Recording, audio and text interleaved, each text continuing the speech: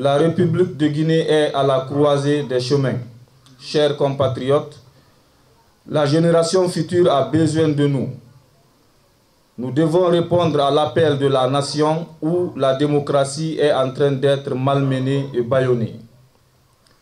Aujourd'hui, personne ne peut ignorer les terribles menaces qui pèsent sur notre cher pays, pris en otage par un groupe d'individus mafieux. Les manifestations qui démarrent à partir de ce lundi 14 octobre 2019 sont une réponse à la sortie évocatrice du président de la République sur ses intentions périlleuses en faveur d'une nouvelle constitution. En effet, les manifestations se dérouleront dans toutes les préfectures, sous-préfectures, districts, quartiers et secteurs de la région administrative de l'Abbé. D'ores et déjà, toutes les cellules dormantes sont en mouvement.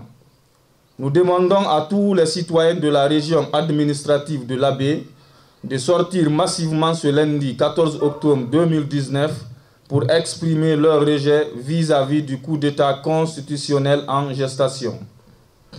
Enfin, l'antenne régionale du FNDC a déjà entamé le recensement des personnes qui promeuvent le coup d'État civil au niveau local.